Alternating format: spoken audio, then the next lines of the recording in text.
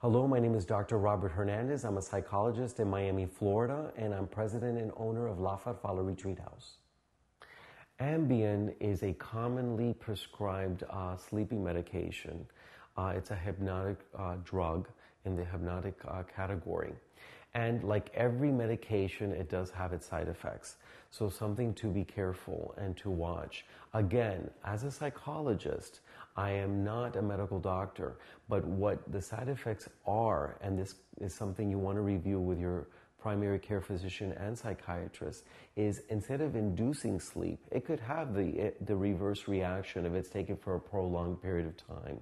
It could cause anxiety and it could cause restlessness or dizziness and a sense of nausea. So if you're experiencing any of this, these side effects that are disturbing for you, the recommendation with this and with other prescription medications, as well as over the counter drugs, is to consult your primary care physician and psychiatrist. Because what you do want to achieve are the benefits that the prescription drug offers, not the nasty side effects.